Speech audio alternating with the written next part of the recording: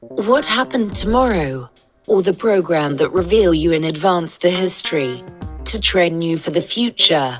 So, welcome to our eighth episode of Preparation for Tomorrow, an original sine qua non creation.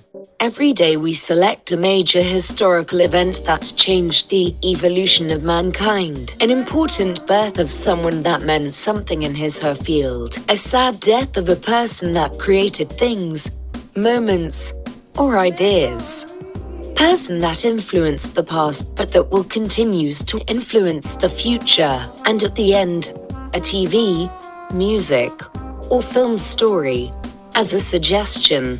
Also, for your free time, don't forget to subscribe to our channel to be part of our community. Your opinions are important for us.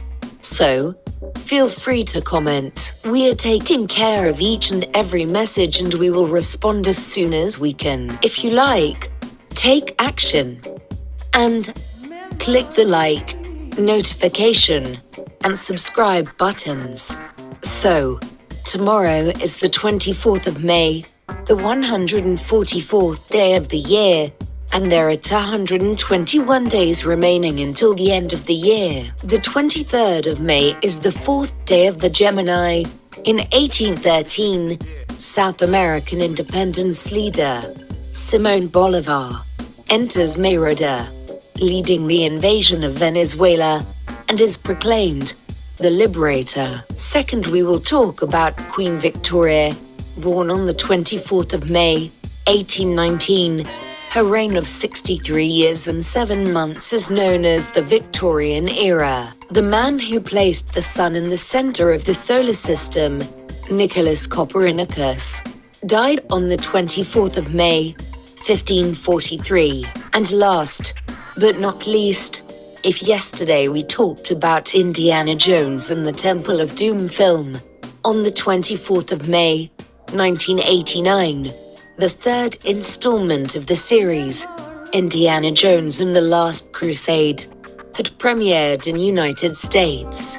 Who was Simon Bolivar, also colloquially as El Libertador, a Venezuelan military and political leader who led what are currently the countries of Venezuela, Bolivia, Colombia, Ecuador, Peru, and Panama to independence from the Spanish Empire. In 1813, on the 24th of May, he enters Merida in his admirable campaign for independence of Venezuela.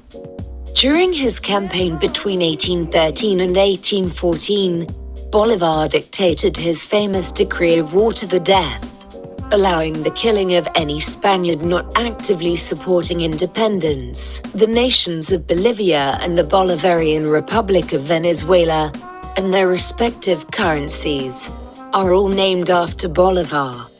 Additionally, most cities and towns in Colombia and Venezuela are built around a main square, known as Plaza Bolivar, there are monuments to Bolivar in the Latin American capitals of Lima, Buenos Aires, Havana, Mexico City, Panama City, Paramaribo, San Jose, Santo Domingo, and Sucre, Minor Planet.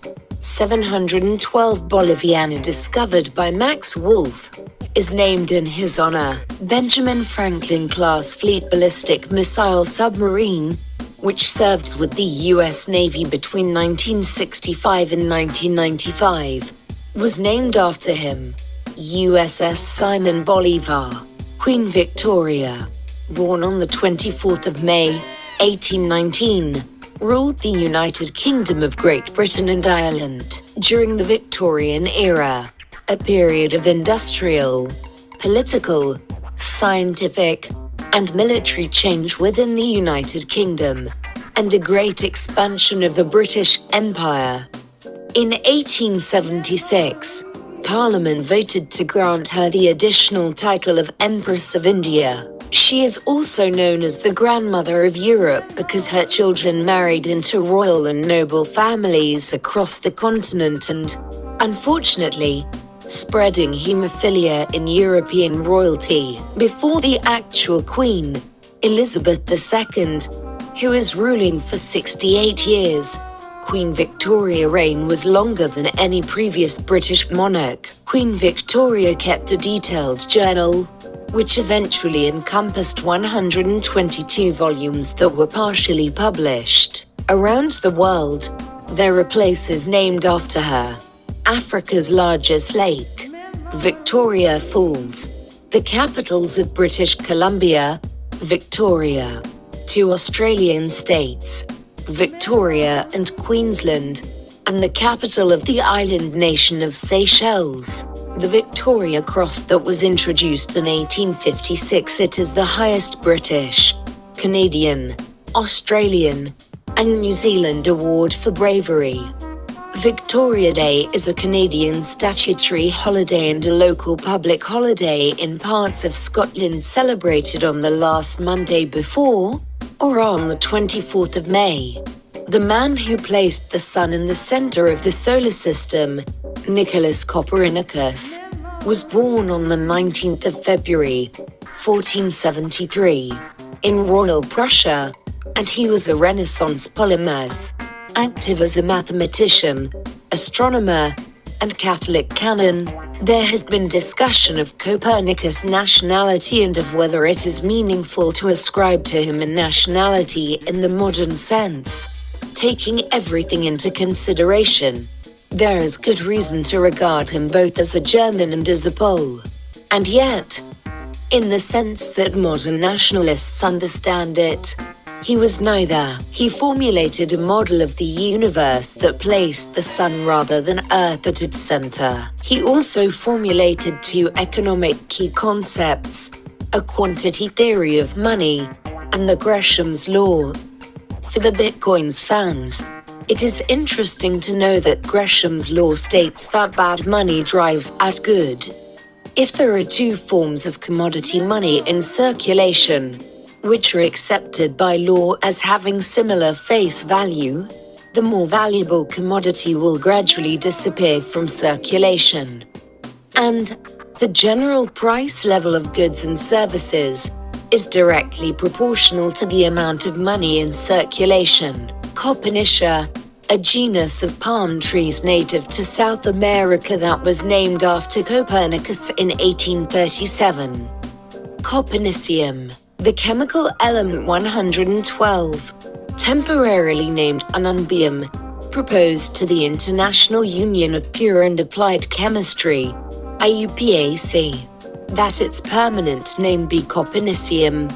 The International Astronomical Union launched in 2014 a process for giving proper names to certain exoplanets and their host stars and in December 2015, the winning name for 55 Cancri A was Copernicus. Copernicus is honored, together with Johannes Kepler, in the liturgical calendar of the Episcopal Church. Yesterday we talked about Indiana Jones and the Temple of Doom, that had premiered on 23 in 1984.